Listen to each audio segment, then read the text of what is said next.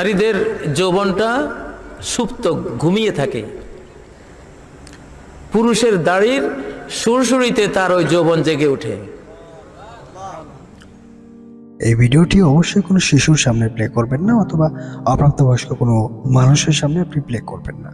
দর্শক এবং শ্রোতা, স্বাগত আপনাদের সবাইকে আরও একবার। যে যেখান থেকে গান পেতেছেন আপনাদের সবাইকে অনেক অনেক প্রীতি এবং শুভেচ্ছা জানাচ্ছি। থামনেলে দেখে বুঝতে পারছেন, ভিডিওটা অবশ্যই অ্যাডাল্ট ভিডিও সো প্রথমে রিকোয়েস্ট করব কোনো অপ্রাপ্তবয়স্ক শিশুর সামনে অবশ্যই ভিডিওটি প্লে করবেন না। এবং আপনি যদি জনসমক্ষে থাকেন, তাহলে অবশ্যই ভিডিওটি প্লে করবেন না উইদাউট হেডফোন দর্শক এবং শ্রোতা, চলুন তাহলে আমরা অ্যাডাল্ট ওয়াজটি কি আসলে সেটা একটু জানার চেষ্টা করব। এবং ফ্যামিলি নিয়ে আসলে ওয়াজ শোনার দিন অনেক আগে শেষ হয়ে গেছে, সেটা আপনারা সবাই জানেন। আজকেও আসলে ওরকম একটু মানে আপনাদেরকে আংশিক দেখানোর চেষ্টা করব এবং পরবর্তীতে এখানে বেশ কয়েকটি বিষয় এখানে অ্যাড থাকছে। সো বুঝতে পারছেন, অনুষ্ঠানটা অনেক মজার হবে। সাথেই থাকুন। চলুন, আমরা আসলে প্লে করি। সেরাতে মুস্তাকিমের মধ্যে দাড়ি আছে না নাই? দাড়ি, এটা আল্লাহ তালা পুরুষকে দিয়েছেন, নারীকে দেন নাই। নারীদের যৌবনটা সুপ্ত ঘুমিয়ে থাকে।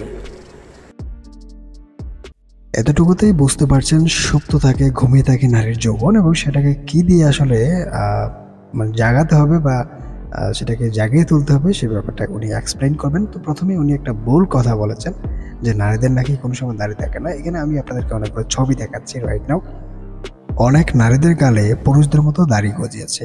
এখানে প্রথমে আপনারা যে ছবিটি দেখতে পাচ্ছেন, এটা হচ্ছে একটি শিখ মেয়ে, দাড়ি গো ফলা এক শিখ মেয়ে DW twenty five zero one two thousand তো এখান থেকে দেখতে পাচ্ছেন যে ওনার আসলে দাঁড়িয়ে আছে। সুতরাং কাজী ইব্রাহিম প্রথমে যে কথাটি বলেছিল যে আসলে দাঁড়িয়ে দিয়েছে শুধুমাত্র পুরুষজনকে এটা আসলে সঠিক নয়। তাহলে বুঝতে হবে বা বলতে হবে যে এখানে আল্লাহ তালা ভুল করেছেন। আর যদি আপনি এটা স্বীকার করে নেন যে আল্লাহ তালা ভুলে এই নারীর গালের মধ্যে দাঁড়িয়ে দিয়েছেন, তাহলে আমার খুব একটা আপত্তি থাকবে না।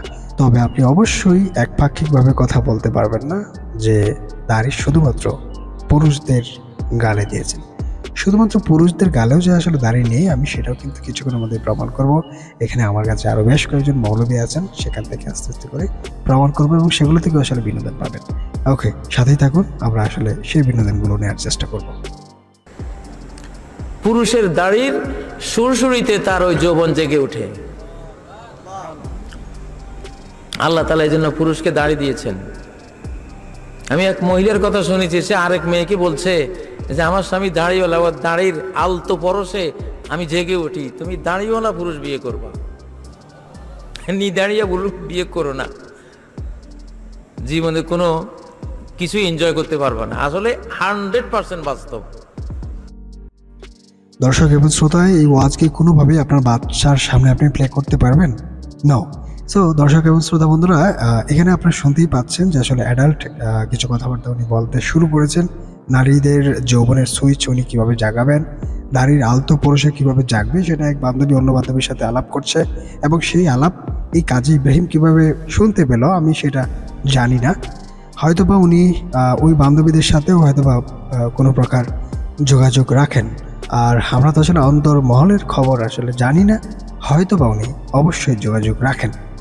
দর্শক এবং শ্রোতা বন্ধুরা, চলুন আমরা আসলে এখন ছোট করে একটুখানি দেখব যে আসলে সে যে কথাটা বলল যে দাড়ি ছাড়া কোনো ছেলেকে যাতে বিয়ে না করে কোনো একটা বান্ধবীকে অন্য একজন বান্ধবী বলল।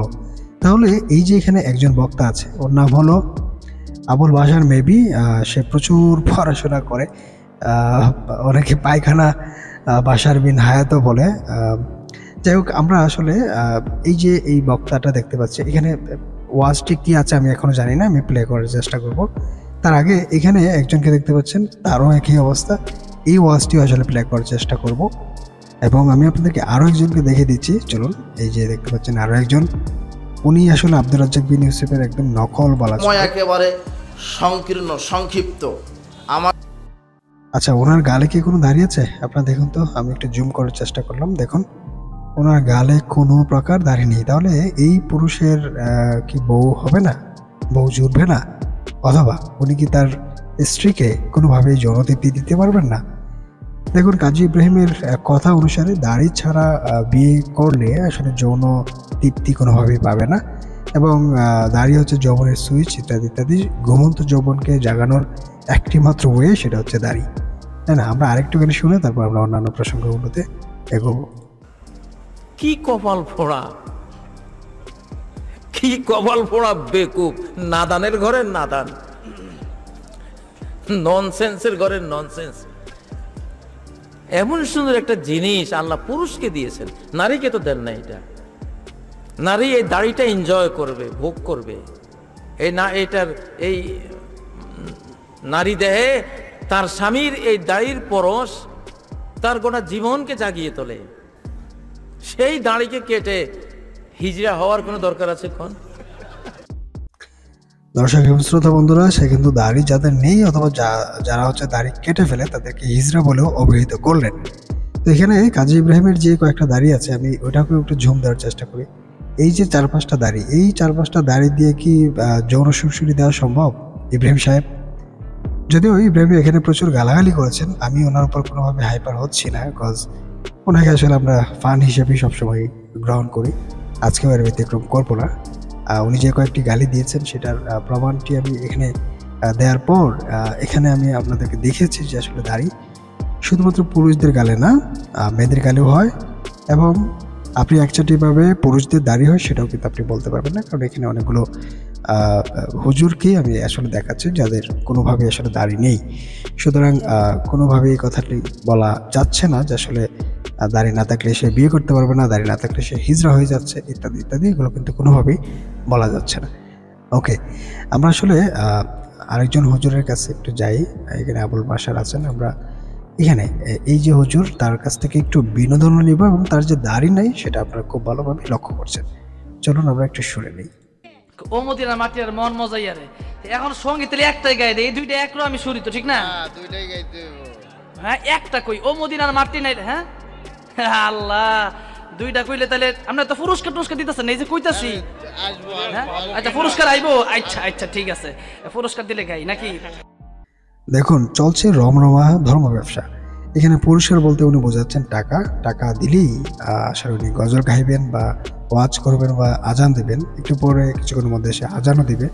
সো এই যে আসলে ধর্ম ব্যবসা টাকার উপর মানে ভিক্ষাবৃত্তির উপর তারা মূলত চলছে এবং এগুলো করে মানুষজনের, গরিব মানুষের টাকা আসলে তারা হাতিয়ে নিচ্ছে। দেখুন, আসলে সে আরও কীভাবে টাকাগুলো মানুষের আত্মসাৎ করছে, চলুন আমরা একটু দেখি। আচ্ছা ঠিক আছে। হ্যাঁ? এই আচ্ছা একটা কথা কই। আপনাদের এখানে ব্যাগ যাবে একটু পকেটে হাত আমি আজানটা দিয়ে দিতেছি।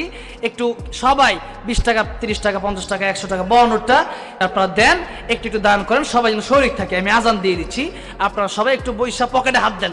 বিসমিল্লা কন কন বিসমিল্লা আলা পকেটে হাত দেন দেখতে পাচ্ছেন ধর্ম ব্যবসা বিনা পুঁজিতে চলছে। রমরমা ধর্ম ব্যবসা বিসমিল্লা করে হাত দেন। সে বারবার বলতে বিসমিল্লা করে হাত দেন, পকেটের মধ্যে হাত ঢোকান, টাকা বের করেন আর আমাকে দিয়ে দিন। বড় বড় নোটগুলো এখানে রাখেন। সো এই হচ্ছে ব্যাপার। আসলে দাড়ি ছাড়া হজুরকে বের করতে গিয়ে আসলে তার দেখা পাওয়া তার বক্তব্য আমরা এর আগেও শুনেছি, তাকে দুই টাকার নোট দিয়ে আসলে বিদায় করা হয়েছিল। তখন থেকে আমি মূলত তাকে চিনি। ওকে, দর্শক এবং শ্রোতা, আরেকজন হুজুরের কাছে আমরা যাই। এখানে সে কি বলে? তারও কিন্তু দাড়ি নেই, আপনারা লক্ষ্য রাখবেন। দাড়ি ছাড়া হুজুরদেরকেই কিন্তু আমি আসলে আজকে একসাথে করার চেষ্টা করেছি। সে কি বলে? চলুন আমরা একটু শোনার চেষ্টা দেখা যাক সে কি আল্লাহর রসুলের জন্য একদম করে দিলাম। আমার এই জীবনে ওয়াক্ফ করে দেওয়ার কারণে আল্লাহ আল্লাহর কসম, আমি রাত্রে এক ঘণ্টার বেশি ঘুমাই না। আল্লাহ আল্লাহর কসম, ফজরের করে কোরআন তেলাওয়াতের পরে মাত্র তিন থেকে চার ঘণ্টা ঘুমাই। রাত্রে দেখুন, একটু আগে বলল সে এক ঘণ্টার উপর ঘুমায় না। এখন বলতেছে তিন থেকে চার ঘণ্টা ঘুমায়। তাহলে কোনটি সত্য? এক ঘণ্টা ঘুমায় সেটা সত্য নাকি তিন থেকে চার ঘণ্টা ঘুমায় কোনটা? আম রিয়েলি ভেরি কনফিউজ আচ্ছা ঠিক আছে, আমরা একটু শুনি সে আসলে কয় ঘণ্টা ঘুমায়, কয় ঘণ্টা পায়খানা করে। এখানে মজার ব্যাপার হলো, আমি একটু টাইটেলটা দেখে খুব হাসলাম প্রথমে। হক পথে এসেছি বলেই রাতে ঘুমাই না। ভয় ও পায়খানা বাসার বিন হায়াত। আচ্ছা ভয় এবং পায়খানা এই দুইটার সাথে বাসার বিন হায়াতের কি সম্পর্ক? চলুন একটু শুনে নেওয়া যাক সে কি বলে। রাত্রে আমি ঘুমাই না, রাত্রে ইলিম অর্জন করতে দিন রাত ফুরিয়ে যায় সারা দিন জ্ঞান অর্জন করতে সারা দিন ফুরিয়ে যায়। শুধুমাত্র হক পথে এসেছি দেখে, শুধুমাত্র আল্লাহর নবীর কাছে। কারণ আল্লাহর নবী বলেছেন যে, আলেমগণ হচ্ছে নবীগণের উত্তরসরি।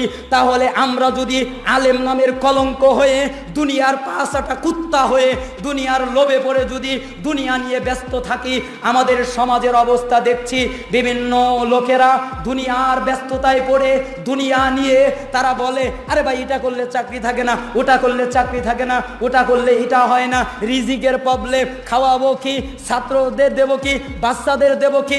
আমি বলি, ভাই, তোমার ইমানের সমস্যা আছে, এজন্য তুমি টেনশনে পড়ে গেছো, খাব কি?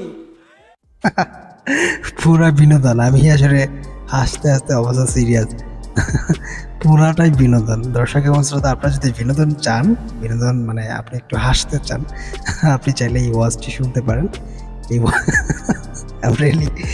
আমি আসলে খুবই মানে মজা পাইছি সিরিয়াসলি এখানে সে বলল, দুনিয়ার কুত্তা হওয়া যাবে না, বাচ্চাটা কুত্তার মতো আসলে থাকা যাবে না। আমরা দিনের পথে আসতে হবে, ইত্যাদি ইত্যাদি। এবং আসলে চরমনায় পীরদেরকেই মূলত এইভাবে টার্গেট করে কথা বলছেন তারা, যারা দুনিয়ার প্রতি আসলে আকর্ষিত হয়ে গেছেন, দুনিয়ার দুনিয়ার বিভিন্ন ধরনের যে জামালায় তারা পড়ে গেছেন ইত্যাদি ইত্যাদি। দর্শক এবং শ্রোতা, আজকের মতো এখান থেকে বিদায় নিচ্ছি। নেক্সট এপিসোডে আবার কথা হবে।